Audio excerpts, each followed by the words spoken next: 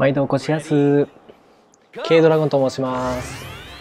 今回 K ドラチャンネルというチャンネルを開設いたしましたのでそのご挨拶と今後の動画の話をこれからしていこうと思います。お前は誰なんだっていう話からしますと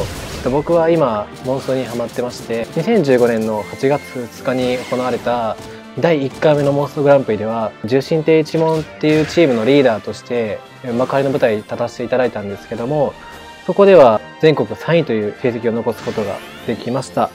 2016年の1月に開催されたモンストグランプリ東海カップでは関西ベスト16で負けてしまったんですけども同じ年の9月に行われたモンストグランプリチャンピオンシップでは関西予選をまず2位で勝ち上がることができまして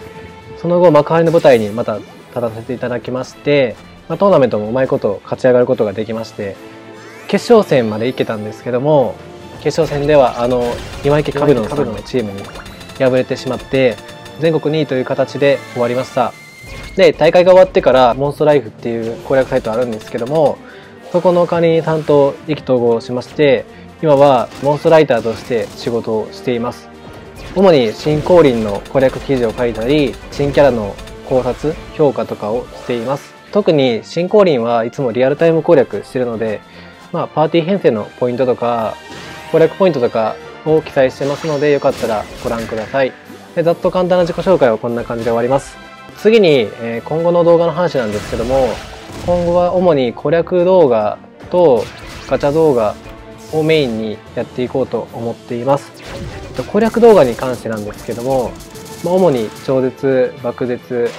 降臨をやっていくつもりです。超絶爆絶においては初心者さんには組みやすいパーティー編成と、まあ、その手法手順を分かりやすく解説できたらなと思います、まあ、上級者さんとかには運枠を積んだ高速周回パーティーとかその手法を説明できたらなと思います。降臨に関しては、まあ、運曲作成がまずおすすめかどうかを説明しましてまどこで使えるかどうかも説明ですね。をやりまして、まあ、あとは運枠を積んだ周回パーティーとかまあ、ワンパンをできるのであればその動画とかを撮りたいなと思ってます。ガチャ動画に関しては重心祭とかで新キャラが追加されたぶっ壊れキャラとかですね。が追加された時とかコラボ F コラボみたいなコラボ時にはちょっと気合を入れて弾いていこうと思ってます。分かりやすく面白く楽しくをモットーに頑張っていくつもりなのでよかったらチャンネル登録お願いいたします。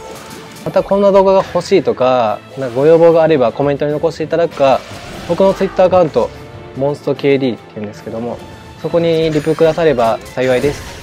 あくまでライターの仕事を本業でやっているので動画を定期的に上げれるかどうかわからないんですけども今後頑張ってアップしていくつもりなので応援の方よろしくお願いいたします。最後までご覧いただきありがとうございました。